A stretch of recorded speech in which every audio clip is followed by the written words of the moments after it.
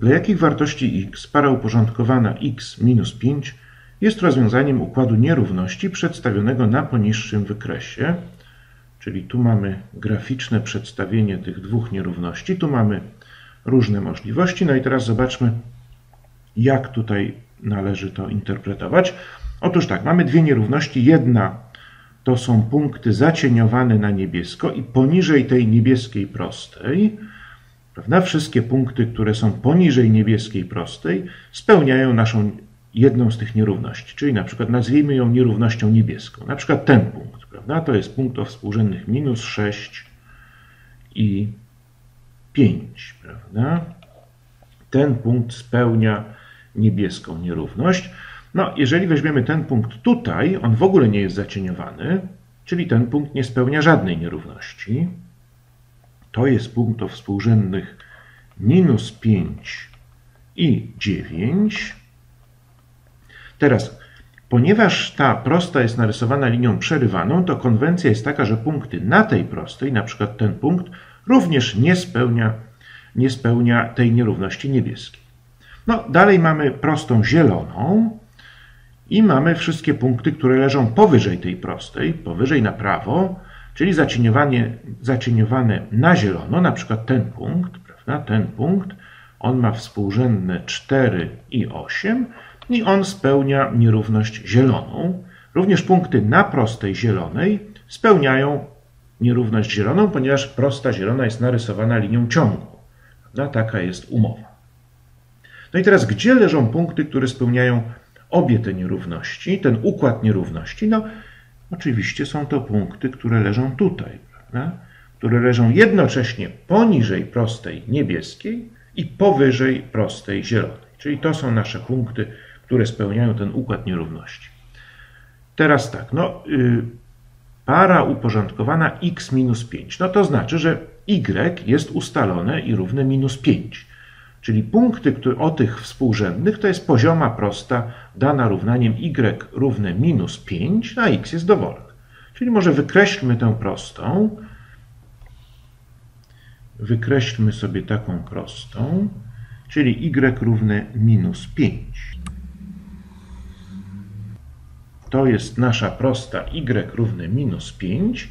No i teraz patrzymy, jaka część tej prostej leży w obszarze y, który jest zacieniowany na zielono i na niebiesko. No i widać, że to jest dokładnie ten kawałek, przy czym ten punkt już nie należy, dlatego że punkt na tej prostej przerywanej punkty nie spełniają nierówności niebieskiej.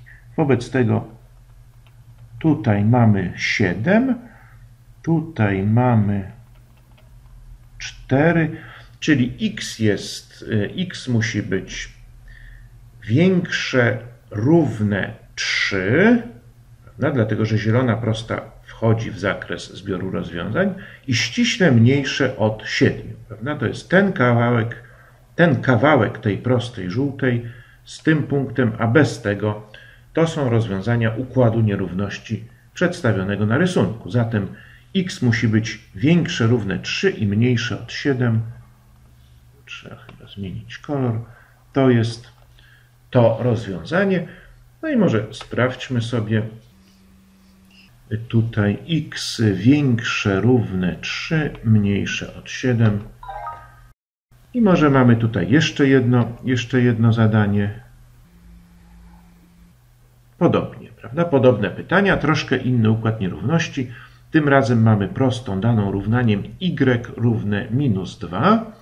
No i ponowne, ponowne takie pytanie, dla jakich xów tak, taka, mm, taka, takie punkty spełniają obie te nierówności przedstawione na rysunku. Tym razem, y, prawda, znowu już mamy dwie proste, niebieską i wszystko to, co pod prostą niebieską wraz z punktami na prostej niebieskiej oraz prostą zieloną przerywaną i teraz wszystko to, co jest pod prostą zieloną.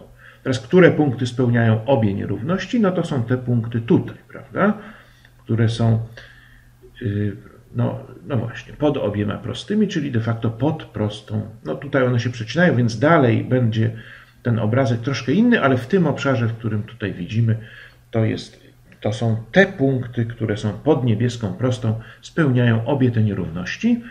No i popatrzmy, x minus 2, czyli musimy narysować prostą y, y równe minus 2, czyli tutaj jesteśmy.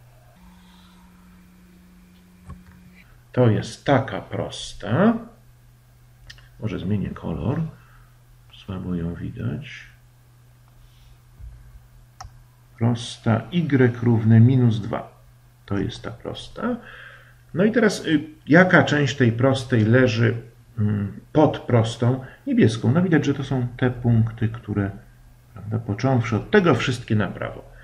Tu jest punkt minus 3, czyli x musi być większe, równe minus 3, dlatego że niebieska prosta jest narysowana linią ciągłą, wobec tego konwencja mówi nam, że punkty na niebieskiej prostej spełniają nierówność niebieską, no i oczywiście one też spełniają nierówność zieloną, przynajmniej w tym obszarze, który mamy narysowany. Wobec tego x większe równe minus 3. O, i to jest to. No więc sprawdźmy jeszcze x większe równe minus 3. Dobrze i zachęcam Was do samodzielnego rozwiązywania zadań na naszym portalu.